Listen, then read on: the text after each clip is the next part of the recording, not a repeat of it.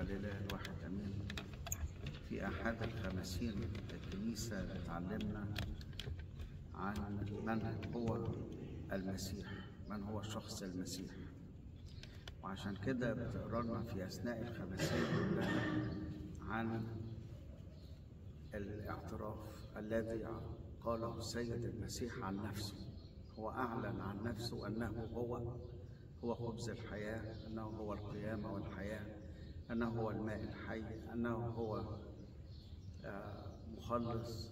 وبالتالي المسيح أعلن عن نفسه مجموعة من الإعلانات. فالكنيسة بتاخد هذه الإعلانات التي أعلنها المسيح عن نفسه في أثناء فترة الخمسين وبتقسمها لنا كل أسبوع تدينا واحد من هذه الإعلانات. فهذا الأسبوع هو أسبوع أن المسيح هو خبز الحياة. ولأنه ارتبط مفهوم الخبز بالحياة. علشان كده السيد المسيح استخدم هذا التعبير أنه هو خبز الحياة. ليس لأننا نأكله بطريقة جسدية إنما المسيح هو حياتنا وحياتنا الأبدية. عشان كده ربط السيد المسيح معجزة إشباع الجموع من الخمس خبزات والسمكتين وربطها بأنه ياخد فرصة للإعلان عن نفسه. الشعب لما شاف أنه عمل معجزة الخمس خبزات والسمكتين وأنه الناس شافوا معجزة عظيمة أنه خمس خبزات أشبع خمسة آلاف رجل ما عدا النساء والأولاد كلهم جريوا عليه علشان يشوفوا معجزات أكتر. وهنا السيد المسيح يدي تعليم اعملوا لحياتكم الأبدية لا للخبز البائد لكن للخبز الباقي للحياة الأبدية. وهنا يربط ما بين الخبز والحياة الأبدية. بس في نفس الوقت السيد المسيح ابتدى يحط لنا صورة أخرى عن أنه هو نفسه الخبز الذي نزل من السماء. أنا هو الخبز الحي. وبالتالي ابتدى هنا يقرب شوية. طب هذا هو الخبز الذي أبذله عن حياة العالم. وبعد كده ابتدى يعلن أنه هو نفسه هو الخبز الذي يبذل نفسه هو جسده الذي يبذله عن حياة العالم. وهنا يربط مع جسده ومع الخبز الحي ويربطه مع المنى الذي نزل من السماء. هي مجموعة من التشبيهات الجميلة اللي بتدينا في الآخر صورة أن المسيح نفسه هو الإله الذي نزل من السماء أعطانا جسده المقدس نأكله لنحيا به علشان في النهاية يكون لنا حياة. فربط كده أنه المسيح هو الحياة وعشان كده ربطها لنا بالخبز وادانا علامة أساسية وضع لنا علامة أساسية في حياتنا الكنسية أننا نأكل خبزا حقيقيا ودما حقيقيا في من على المذبح لحياتنا الأبدية. وزي ما المسيح كان في العالم في صورة الجسد إنسان طبيعي له جسد وبناكل ويشرب وعادي طبيعي جدا إنسان كامل لكنه فيه أيضا هو ملء كل اللاهوت ليحل يحل فيه كل ملء اللاهوت.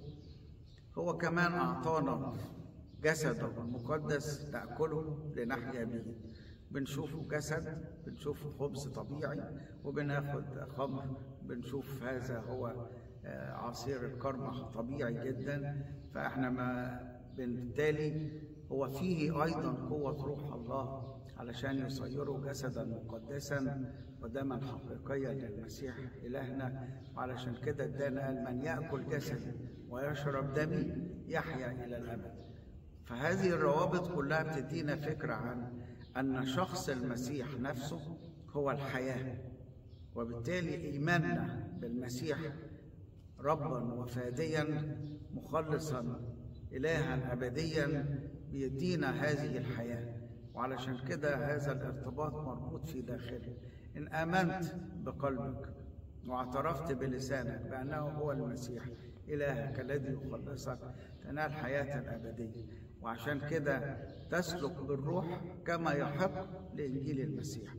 وبالتالي أصبح هنا أن خبز الحياة مش فقط بس إن إحنا بنأكل خبزا طبيعيا عاديا عشان نحيا الحياة الأرضية إنما بنأكل حياة أبدية عشان هو الذي معطي كل حياة أبدية. عشان كده بنسلك في هذه الحياة بحسب المسيح نفسه فهو كلمة الله اللوغوس يحل في كل وصية بيديها لنا.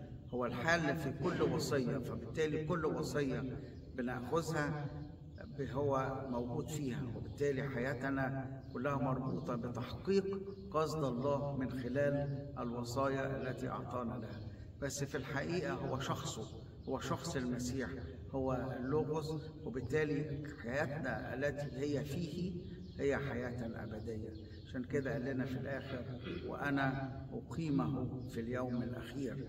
علشان كده لما نقف أمام المسيح إلهنا هو يقيمنا في الحياة الأبدية في اليوم الأخير ليه؟ لأنه لا شيء من الدينون على الذين هم في المسيح يسوع السالكين حسب الروح ليس حسب الجسد ليه؟ لاننا متغطيين بالمسيح عشان بقيامته أقامنا معه وحياتنا مستترة فيه وبالتالي أصبح إنه يربط ما بين إنه هو الخبز الحي النازل من السماء وأنه يقرر لنا في هذا الفصل من الكتاب وأنا أقيمه في اليوم الأخير لأن حياتنا مستترة فيه وبقيامته تكون قيامتنا وبالتالي إيماننا بأن المسيح هو الذي جاء في الجسد هو هو الذي صلب هو هو الذي قام وأقامنا معه وأعطانا حياة أبدية يقيمنا في اليوم الأخير لأنه هو خبز الحياة. ربنا يعطيكم كل نعمة وبركة ولإلهنا كل المجد والكرامة.